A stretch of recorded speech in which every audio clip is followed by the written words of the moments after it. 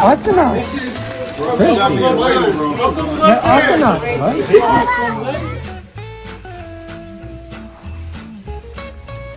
plan the sacrificial murder of someone and be pleased to do it because it brought you back in relationship to all mankind.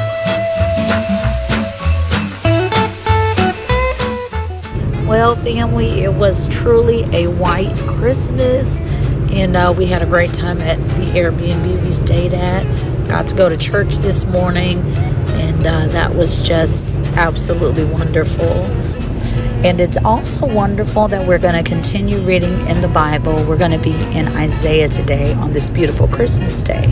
For to us a child shall be born, to us a son shall be given, and the government shall be upon his shoulder, and his name shall be called Wonderful Counselor, Mighty God, Everlasting Father, Prince of Peace. There shall be no end to the increase of his government and of peace.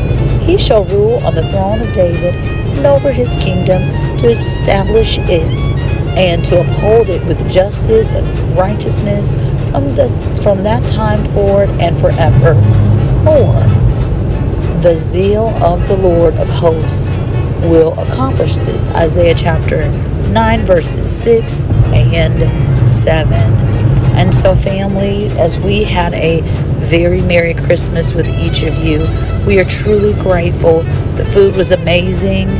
Uh, the time together was even better. The gifts were beautiful. And we give honor to God for you and for the Lord and for our time with you. Love you, family.